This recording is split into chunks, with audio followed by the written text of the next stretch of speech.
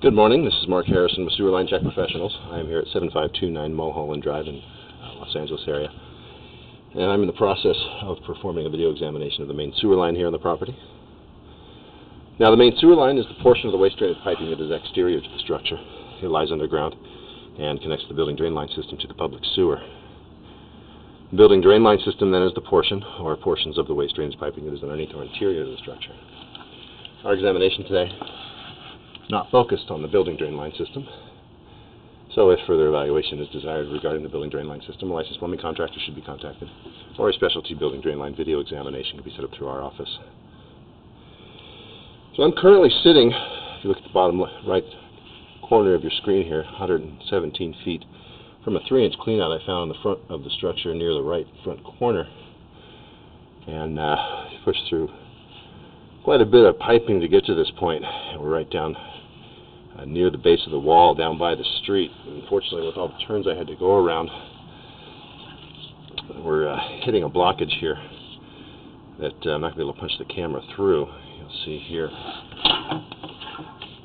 Just all these turns, the camera doesn't want to move too well. Now, uh, what we're looking at is some pretty significant root intrusion on this lower end. Uh, we're in a vitrified clay piping, and uh, root intrusion in these clay pipes is fairly common, but uh, it's a situation where we are suggesting that they would need to be maintained on a regular basis to help minimize the potential for blockages and or damage to the pipe. Now the access we currently have is not really sufficient to effectively clean this section of the line. It's too far, there's too many turns. So I'm going to mark out down by the uh, lower driveway uh, exactly where this line is. And you'll see here what we do is we make a short vertical drop and we're coming up. Essentially this is a vertical here. And we get to the top here, we've got this fitting that has the opening that uh, probably could be exposed and extended up to the surface and be utilized as a cleanout pipe itself is about two feet deep over here, so it's not a very significant excavation to get to that, but there is asphalt. So what we're going to do is we're going to examine back up to the structure from this location, but unfortunately that does leave us a uh, good section of 30 or 40 feet of pipe that we can't see today. Now the criteria for main sewer line cleanouts on a main sewer line is every 100 feet of pipe uh, at the upper end of each branch of the system or after 135 degrees of bend or turn. we're definitely far exceeded those criteria. Now, I've got a couple of sections like what we're looking at here where there's a little bit of a shift in the pipe, a good uh, inch or so. Now, there's no evidence that this shift has been compromised or the coupling that holds these pipe sections together has been compromised, but it's something to definitely want to monitor uh, luckily, the new cleanout access that we're talking about is down beyond these two spots, and there's really nothing to speak of of roots back through the rest of this line.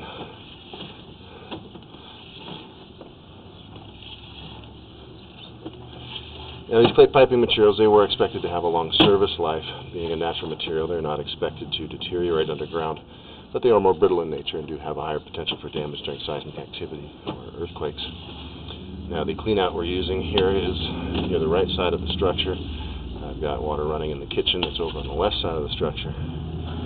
We're going to be looking for any possible uh, second lines here.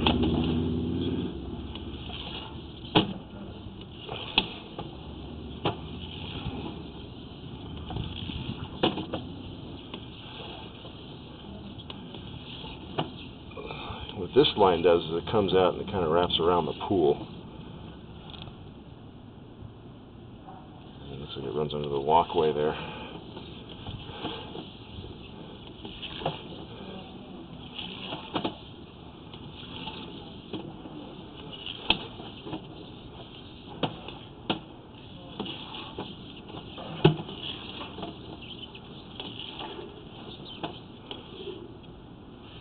Here's the second area that I was talking about. Sh shifted some.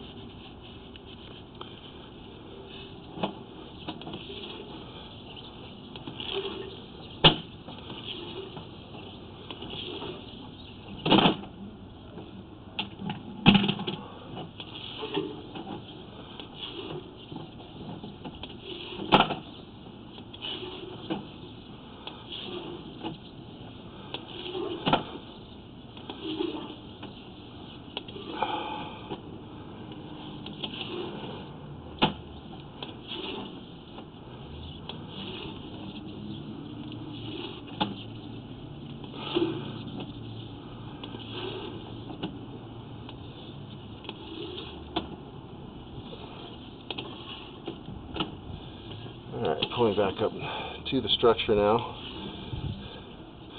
So the good news is that it does seem that we do have just a single line.